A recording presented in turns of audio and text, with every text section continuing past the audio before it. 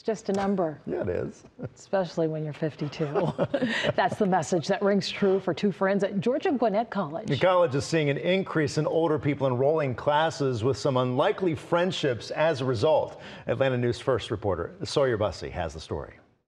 The two met in information technology class. Um, we were getting logged in. Um, teacher was starting the lecture. We didn't deal with uh, technology, although I'm a little bit familiar with that.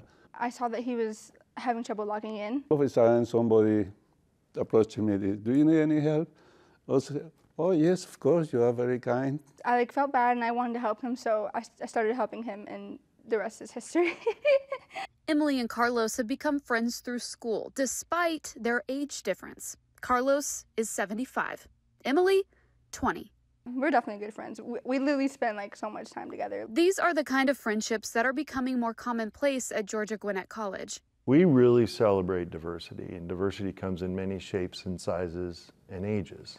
The college is seeing an increase in older people enrolling in classes. So, yes, we are intentionally reaching out to those students, and we are seeing increases in that population.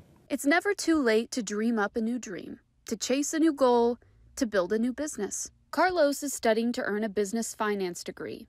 Now, he has a friend to help him get there. Um, age is just a number. He's such a cool person to be around. He has uh, so many um, good stories to tell. In Lawrenceville, Sawyer Bussey, Atlanta News First.